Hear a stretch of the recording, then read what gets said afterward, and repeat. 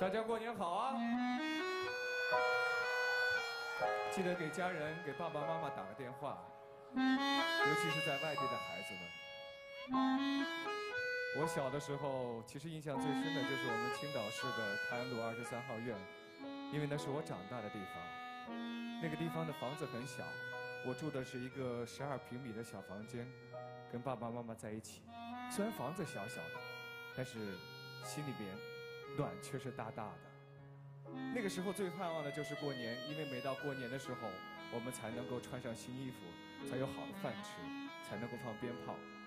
每到过小年的时候，姥姥就会告诉我说：“很快了，很快了，因为小年过去了，就开始过大年了。”妈妈生了我之后，其实是不会做饭的，后来为了照顾我，才学会做饭做菜，也是为了照顾我，自己放弃了一份待遇很高的工作。所以，妈妈做的饭是全世界最好吃的饭。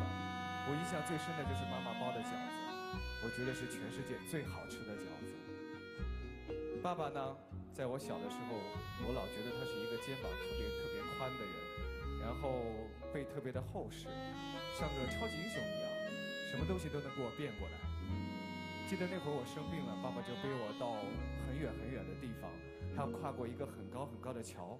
才能去到医院，所以到现在为止，爸爸宽厚的肩膀都是我最温暖、最安全的港湾。那个时候，我就暗暗的发誓：如果有一天我长大了，我一定要努力工作，赚大钱，买一个大房子，把爸爸妈妈接过来，跟我住在一起。我现在做到了。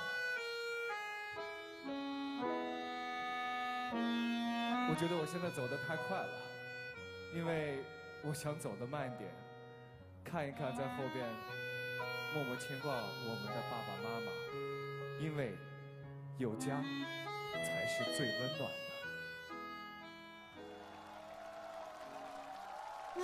的。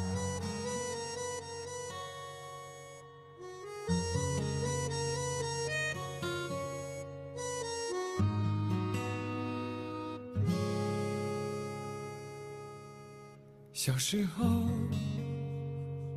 我们的城市像郊外，我们的脚步很轻快。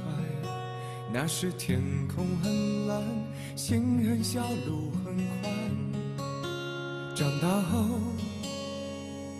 我们的存在像尘埃，我们的距离被拉开，有时相处很难。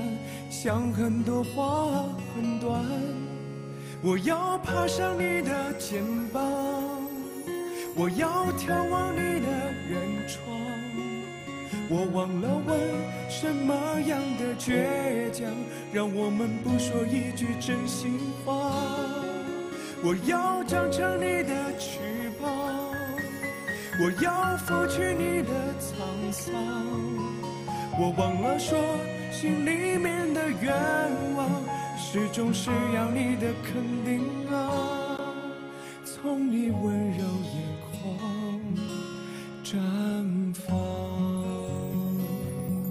我要爬上你的肩膀，我要眺望你的远窗。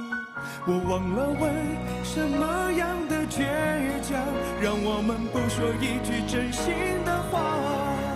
我要长成你的翅膀，我要拂去你的沧桑。我忘了说，当我仔细回想，脑海最珍贵的一幅画，是你载着我，抓牢你身旁，爱心在你背后。飞翔，